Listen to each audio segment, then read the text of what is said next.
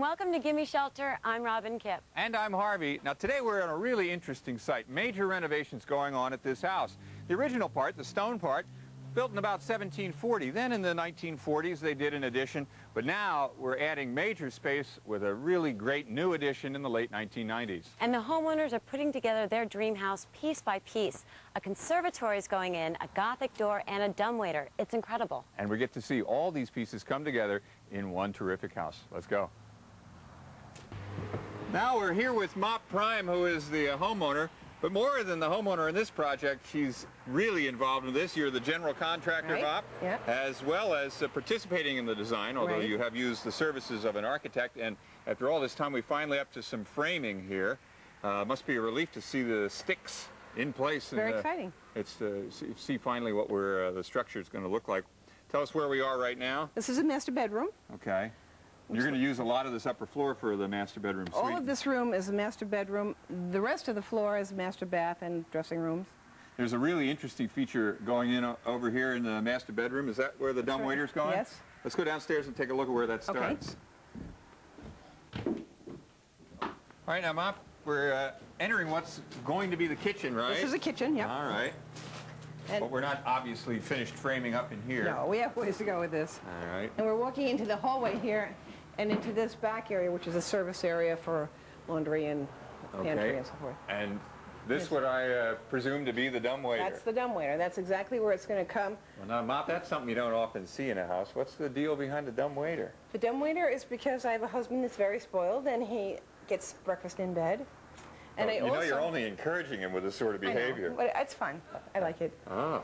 And I have laundry here so that I can put laundry and bring it in here and bring it to the second story and it's not a big deal carrying it up and down. Well, I feel better. This way, he's, he's either going to get breakfast or dirty laundry up there, so he doesn't know which one. Whatever.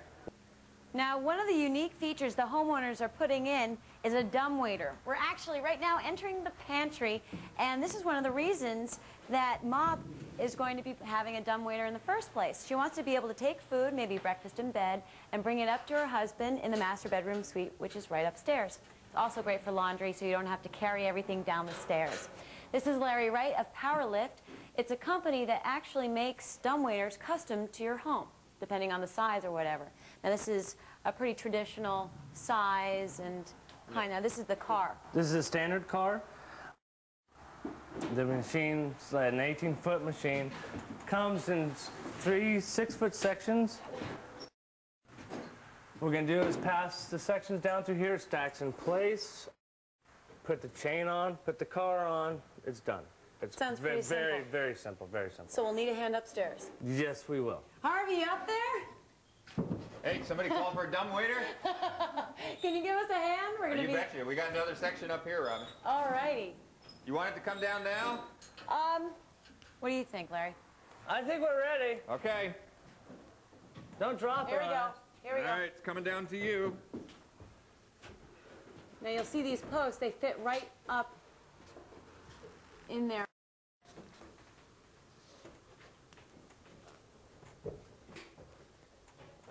Okay. Okay, looking good, looking good. Line it up. Okay, get your fingers out. Okay, lift it up just for a second so I get this block Get the two out. by four out. Okay. Okay, down. There we go.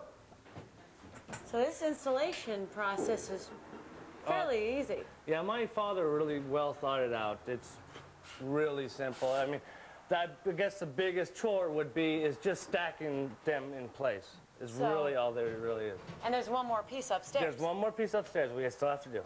Let's go upstairs. Let's do it. Okay, Harvey, how can we give you a hand? Well, we're going to spin this around. It's still not facing the right direction. There we go. Okay. All right. Let's, uh, I can guide it from here because all right. Ready, Larry? Yep. All right, now if we can get it lined up here. Gotta come straight down. Watch your fingers down there, Robin. Right, there you I'm, go. I'm in. Good. All right. There you go. Set it down. All right. Okay, now all you need to do is uh, disconnect all the ties. The most important thing is there's a red tie at the top that you do not want to cut at this time because that holds the chain in place. So what we're going to do is unwrap this.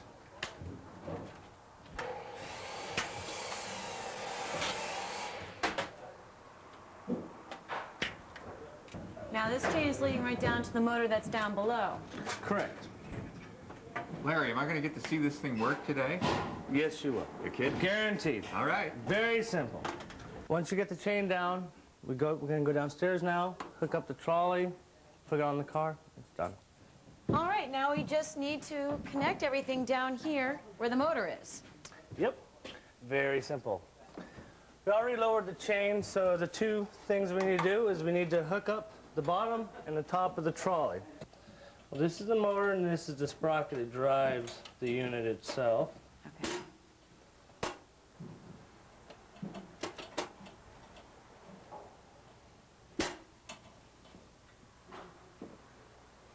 First put one bolt down like this. And this goes up through here. Start that.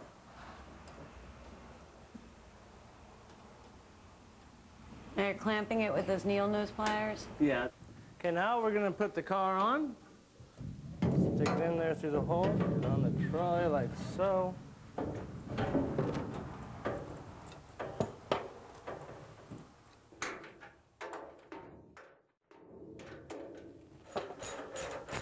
All right, the car is secured by two bolts, and we're just making sure that they're fastened tightly. Okay, and later on, we're going to encase this dumbwaiter with drywall, and then Mop will come back and pick out a nice door, whichever one she prefers.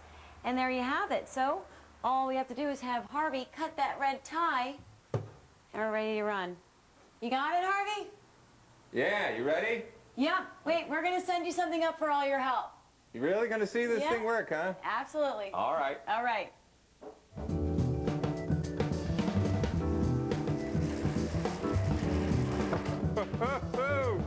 Wow.